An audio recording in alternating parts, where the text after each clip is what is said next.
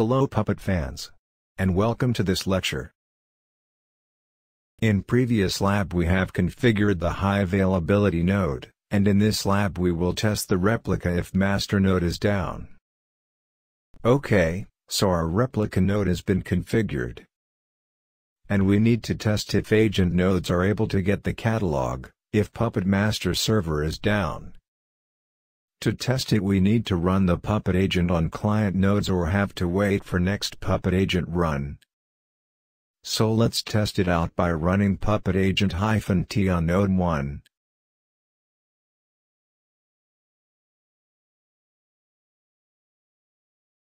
And once Puppet run is complete you can find the HA replica node entry in slash etc slash puppetlab slash puppet slash puppet.conf.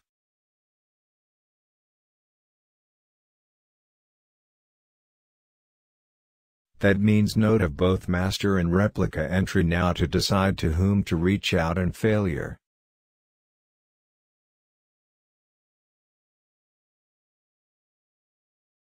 Let's test it out on one more node, node 2, by running puppet agent-t.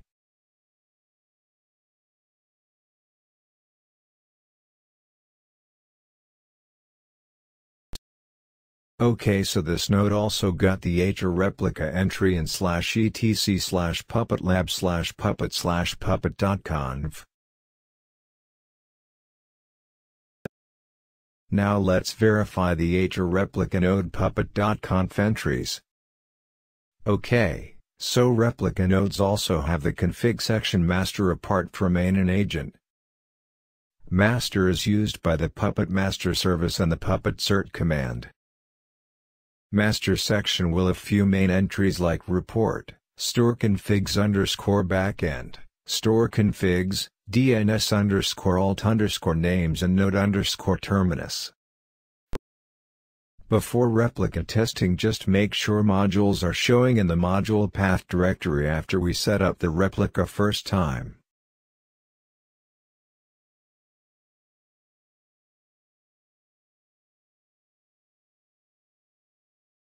Okay so we can see the modules.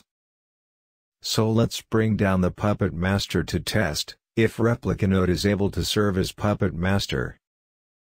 To bring down the master server go to your AWS console and stop the Puppet Master node.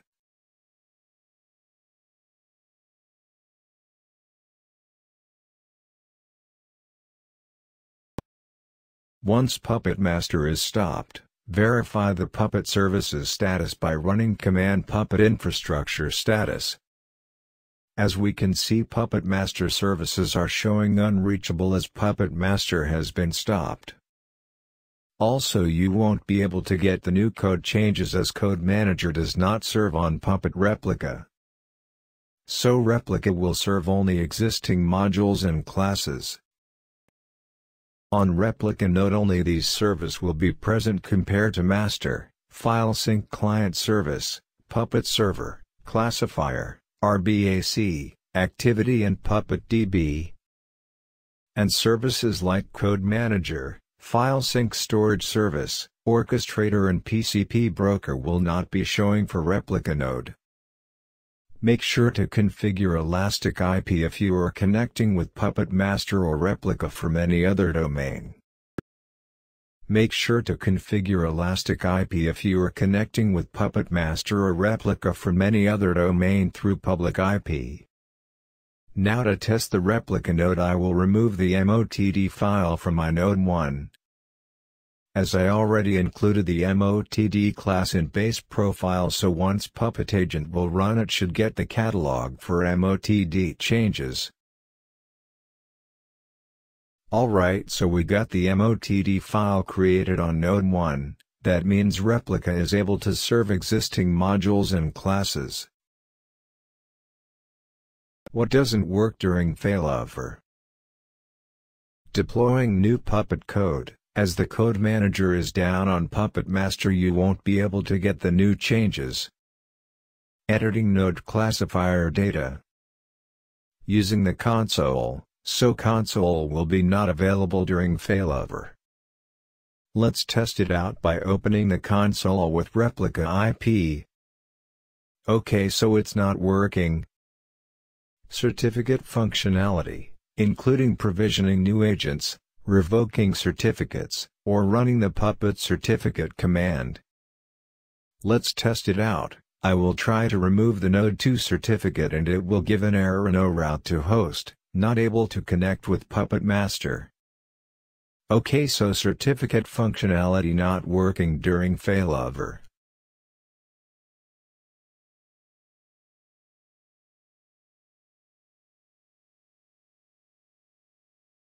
Most CLI tools and application orchestration will also not work during failover.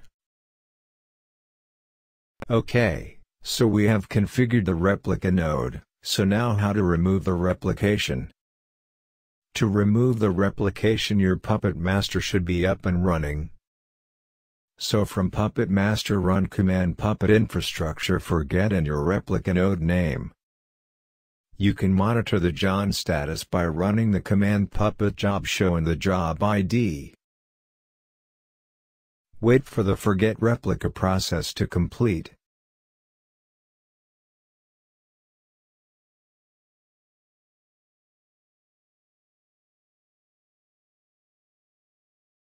Meanwhile you can watch the logs to know what's going inside forget replica process.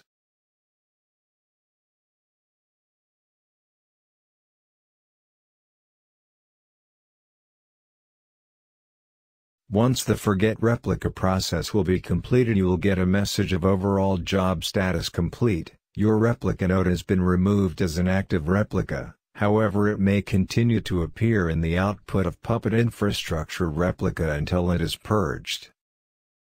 So to purge the replica node run command puppet node purge and your replica host name.